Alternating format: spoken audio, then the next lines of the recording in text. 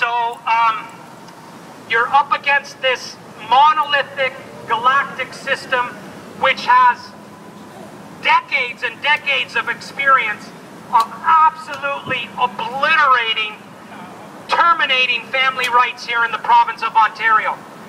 What can you do to try and improve your position a little bit? Well, one of the things is you can look at a document. Uh, back in 2012, we became aware that the Ministry of Children and Youth Services had a policy, it's about 130 pages long, which um, guide or determine the rules in regards to the Children's Aid Societies providing disclosure to the notes that they make and use against families. Policy is called Ministry Case Information Disclosure Policy, and you can Google it. It's at fixcas.com, undisclosed disclosure policy.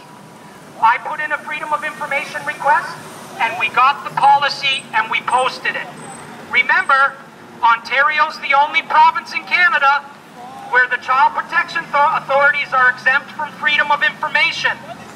So normally, if you were in any other province, you could do a straightforward freedom of information request and get their records, disclosure. That those records would be redacted, but they would still be very, very valuable. The other process is to put in a records motion in court. But the average person here in Ontario, even people who have graduated from universities, are going to find that to be a very, very difficult thing to do.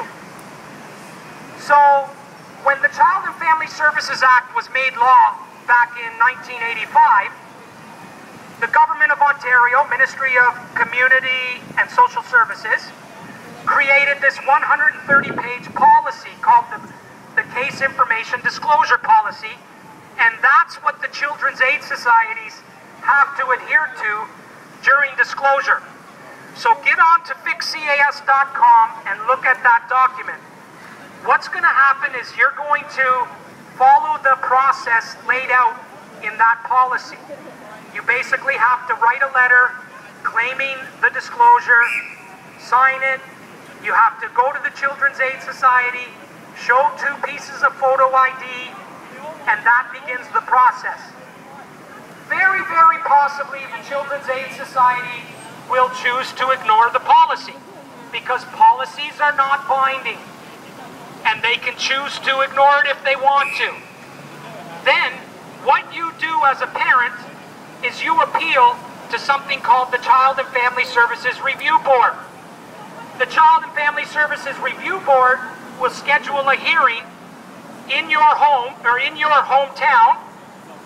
They will come, a three-member board, and they will do a hearing where you can argue your right to get those records.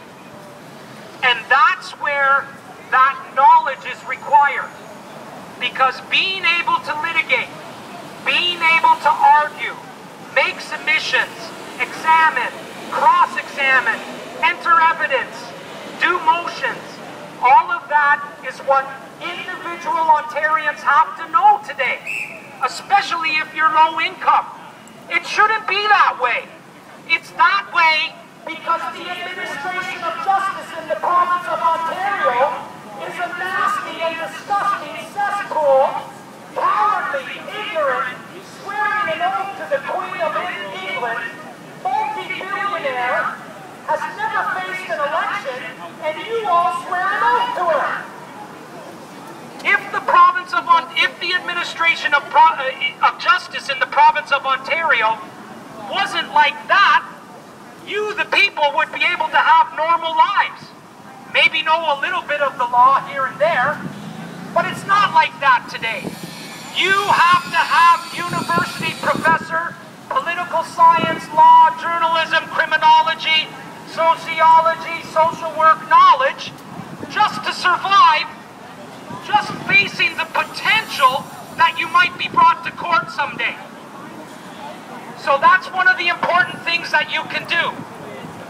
Get that document and get that disclosure. Whatever you do, record the living heck out of your Legal Aid Ontario lawyer. Every single time you meet with that lawyer, you secretly record those conversations. And when that lawyer or the Children's Aid Society worker looks at you and they say, Are you recording me? You put on your sweetest, most uh, cherub like face and you look them right in the eye and you say, No, of course not. I might not be a lawyer, but uh, personally I would play it up. And I would say something like, I might not be a lawyer, but I, I know at least that it's not lawful to record in the province of Ontario. Have a little bit of fun with it. But record them. Now, are you allowed to record inside courthouses? Most definitely you are. You can record your conversations with the courthouse staff, the administrators, and you had better. Because some of the most ignorant bureaucrats in the province of Ontario are courthouse staff. I'm telling you right now. Of course they are. They are completely and totally unaccountable. You cannot to have them investigated. You cannot put in a freedom of information request to investigate them yourselves. Of course the, the courts of Ontario, their administrators, have become ugly and arrogant. On top of it, they swear an oath to the Queen of England. Naturally, anybody who swears an oath to the multi-billionaire foreigner Queen of England is not going to be somebody who's down to earth or approachable or regular Joe or Josephine type of person. Of course they're going to be arrogant. It's part and parcel. It goes along with it. Elitist. Westminster, Buckingham Palace. Now, so when you go to the courthouses, you have the right to record your court appearances. And guess what your legal, your legal aid Ontario lawyer will say to you when you suggest that you want to start recording your court appearances. Your legal aid Ontario lawyer will get into an incredible huff. You will see his panties start to go up his butt as you're speaking to him. He will become incredibly disturbed and he will say, under no circumstances am I going to represent somebody who wants to record their court appearances.